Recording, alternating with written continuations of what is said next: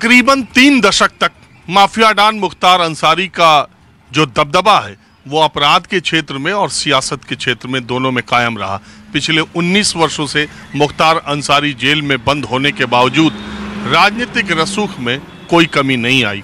तो अब बड़ा सवाल ये उठता है कि मुख्तार अंसारी चैप्टर खत्म होने के बाद स्थानीय राजनीति में, पूर्वांचल की राजनीति में, गाजीपुर, बलिया और बनारस, मऊ की राजनीति में मुख्तार अंसारी के परिवार के दबदबे का खात्मे की शुरुआत भी हो गई है क्या? मैं एक गाजीपुर की बाज़ार में, जैसा मैं छोटी बड़ी बाज़ारों में बैठे हुए लोगों से चर्चा करता हूँ तो आज मैं मोहम्मदाबाद के अगल बगल के इलाकों के 15-20 किलोमीटर दूर के छोटी छोटी मार्केट्स में ये जानने की कोशिश कर रहा हूँ कि माहौल क्या है? तो मैंने जो कहा कि अब मुख्तार अंसारी की मौत के बाद जो परिवार का राजनीतिक रसूख है, उसमें कोई कमी आएगी? अभी सामने चुनाव है, अफजाल अंसारी चुनाव लड़ रहे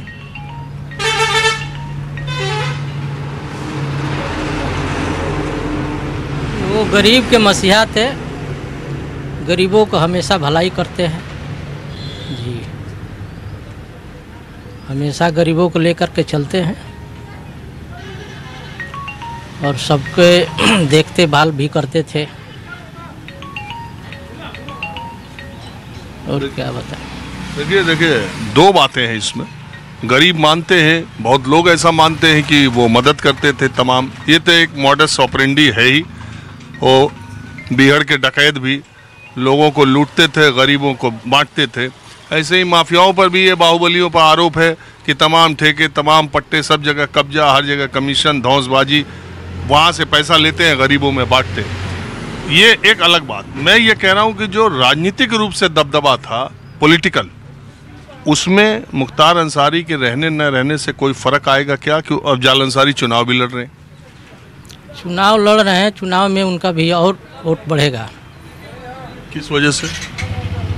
जो ये गरीबों के हमेशा ये देखभाल करते थे और जो इनका अमृत हुआ है उससे और भी बढ़ेगा। आपको क्या लगता है? लगता है सही कह रहे हैं हम वोट बढ़ेगा और अफजल अंसारी बहुत वोटों से जीतेंगे। क्या सहानुभूति का वोट? नहीं वो गरीबों का मसीहा है लोग यहाँ का मोहम्मदाबाद तहसील का इसलिए जीतेंगे। अरे इतने मुकदमे भी तो। कितने मुकदमे? कितने में सजा हुई? वो तो देख के जलने वाले मुकदमा करते हैं झूठे अफवाह करने वाले करते रहे। वो लोग आबाद रहेंगे उन लोग का हटाने वाला कोई नहीं है। आप बताइए आप भी यही मानते नहीं साहब ऐसा तो नहीं है। चुनाव नज़दीक है चुनाव के बारे में सारी प्रक्रियाएँ पूरी हो चुकी हैं और देहात के लोग जो हैं मुख्तार अंसारी के मरने से वोट का जो है बढ़ावा होगा। हाँ? वोट बढ़ेगा। किसका? अफजाल अंसारी का। किस वजह से? इसलिए कि सहानुभूति जो है गरीबों के प्रति थी उनकी और अफजाल जी की भी थी या परिवार के सारे सदस्यों की भी थी। अब देखा जाए भविष्य में लोग क्या कर रहे हैं। लोग अरे एक बात मान लीजिए। चलिए आप मान रहे हैं कि वो मसीहा गरीबों की मदद लेकिन दूसरा ये भी पहलू है कि डर भी था एक आतंक भी था। ऐसा है कि डर का पर्याप्त जो था उनका माफियाओं से ही था। आम लोगों से कोई उनसे लेन देन नहीं थी। आम पब्लिक से कोई उनको लेना देना नहीं था। अब अपना जो है, पता नहीं क्या, वो कैसे कैसे क्या करते थे और आप बताइए, आपका क्या मानना है? जी। मुख्तार अंसारी का चैप्टर क्लोज होने के बाद अब गाजीपुर से अपराध ये सब आतंक इसका खात्मा होगा? पहले से योगी सरकार में खत्मा हो ही चुका है अब और क्या खत्मा होगा?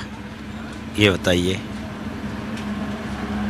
अब तो सब कोई राम राज आ गया है यहाँ। उस परिवार का दबदबा? नहीं कोई दबदबा नहीं। कभी भी नहीं दबदबा। हम आज हो गए अट्ठाईस तेईस साल के। कभी ने हमने नहीं देखा यहाँ कोई कुछ हुआ हो? अरे, पहले तो किसी की हिम्मत थी अंसारी परिवार के बोलने के खिलाफ। क्यों नहीं थी? क्यों नहीं थी? बोलने की सबको थी। यहाँ भी तो अंसारी परिवार और कम से कम पैंतीस साल वो उनके भाई विधायक रहे। फिर सिकतुल्ला अंसारी विधायक रहे हैं। अब उनके बेटे विधायक हैं। कुछ तो क्वालिटी है यहाँ। जनता दे रही है बार बार लोगों को लग रहा है कि योगी सरकार नहीं रहती तो बड़ा मुश्किल होता है इन लोगों का। क्या? योगी सरकार का की वजह से भी तो इन लोगों का दबदबा बहुत कम हुआ। हाँ। हम लोग के लिए तो नहीं है। हम लोग के लिए तो वही चलता आ रहा है। कभी भी नहीं हम लोग सोचे दबदबा था। आज भी नहीं सोच रहे हैं दबदबा है। चलिए आप बताइए। आ गए आप लोग इतने लोग हम शुरू किए तो चार पाँच लोग थे।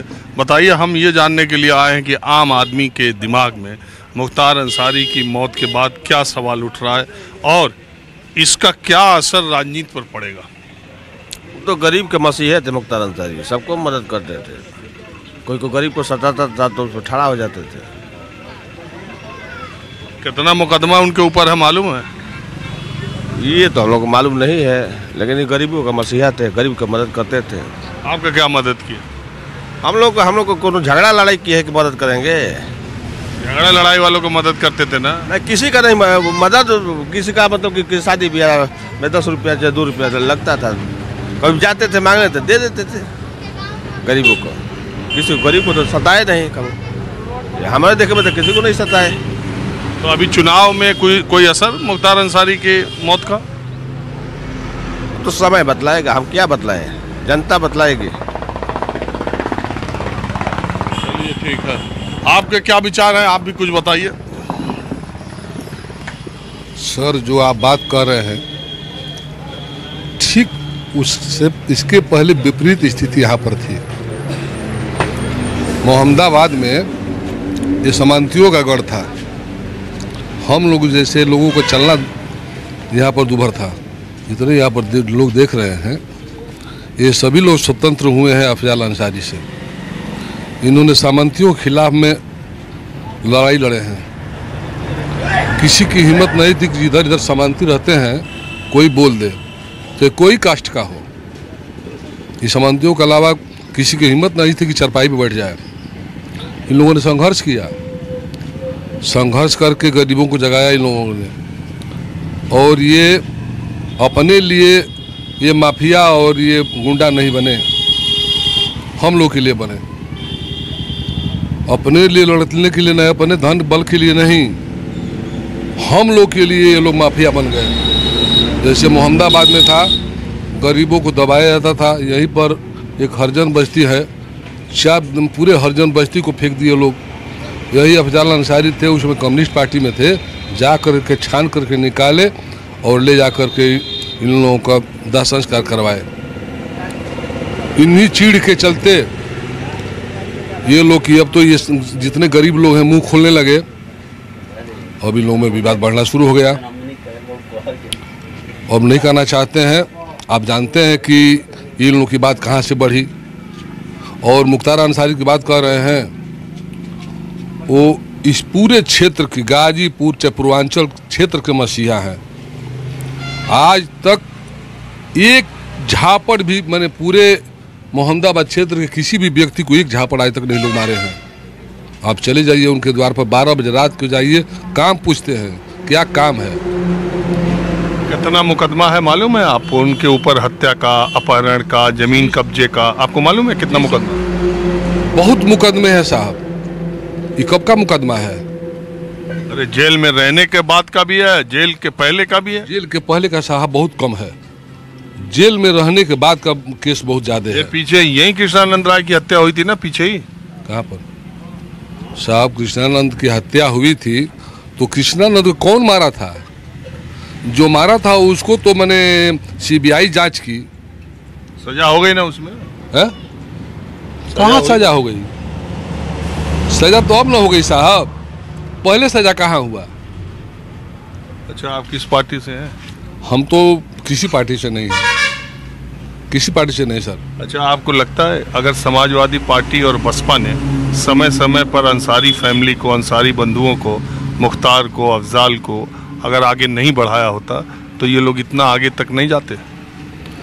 ऐसा सर आप जानते हैं इन लोगों के परिवार के बारे में कितने ये परिवार के लोग हैं।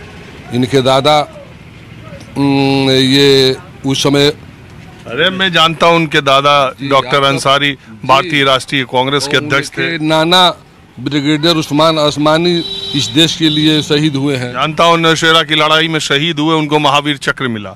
लेकिन अब अंसारी फैमिली को इन लोगों के नाम की वजह से जाना जाता है कि माफिया डान मुख्तार अंसारी की वजह से जाना जाता है? सर ये तो ये तो मैंने जो मीडिया वालों की कमाल है, सर। ये मीडिया वाले बताते हैं, मुख्तार अंसारी, माफिया है और हम लोग बताते हैं कि नहीं, हम लोग के वो भगवान है। जो भी उनसे विवाद हुआ है, सुन लीजिए, जो भी विवाद उनसे हुआ है, चाहे सैदपुर में, चाहे मोहम्मदाबाद में, सिर्फ़ गरीबों के लिए हुआ है। गरीबों के लिए लड़ते लड़ते वो दुश्मन बन गए और माफिया बन गए। गरीबों के लिए, सर। सरेआम का नाम है सैदपुर में लोगों को काट दिया जाता था, कोई बोलने वाला नहीं था। उन लोगों की हक लड़ते लड़ते ये माफिया बन गए। मोहम्मदाबाद में हम लोग की हक लड़ते लड़ते बेचारे सब माफिया बन गए। बताइए ना, अब्बास अंसारी क्या किया है? देश का नंबर एक खिलाड़ी है। कौन नहीं है, मैंने, मैं भाषण में बोलता है एक आध शब्द गलत जैसे कोई भी बोलता है तो शब्द मोदी जी बोलते हैं तो गलत शब्द नहीं बोलते हैं। बहुत शब्द बोलते हैं गलत। तो एक लड़का था, गलत शब्द बोल दिया, मुकदमा हो गया। मान लीजिए कि मुख्तार अंसारी पर अपहरण के हत्या के न जाने कितने मुकदमे आप ऐसी बात कर रहे हैं कि ऐसे मुकदमा हो गया गरीबों के लड़ने के लिए मुकदमा। इस। देश में बहुत सारे नेताओं ने गरीबों की आवाज़ उठाई है सब पर हत्या और जबरन वसूली अपहरण सब पे ये मुकदमे हैं। इसमें से एक भी आदमी साहब बता देगा इसमें से जितने लोग हैं एक मैंने सभी पार्टी के लोग हैं अगर एक आदमी भी बता देगा पूरा मोहम्मदाबाद में उन लोगों को छोड़ करके जो अतिताई हैं यहाँ पर सर एक अतिताई की गोल है। अतिताई हम लोग को परेशान करते हैं। और ये लोग हम लोग की रक्षा करने वाले हैं। बस इतना ही अंतर है आज चुनाव की बात कर रहे हैं आप जाना चाह रही की। सब चुनाव कोई लड़ वहाँ लड़ने वाला है। क्यों नहीं कोई आ रहा है प्रत्याशी? कोई जब मनोज सिन्हा जब चुनाव लड़े थे पिछला चुनाव तो एक लाख सवा लाख वोट से हारे थे। अरे तो सपा बसपा गठबंधन था ना। जी? सपा बसपा गठबंधन था पिछली बार। सपा का बसपा गठबंधन था साहब इस बार सपा से भी उससे भी ज़्यादा इनको वोट से वोट मिलेगा। चलिए नतीजा आएगा तो देखा जाएगा।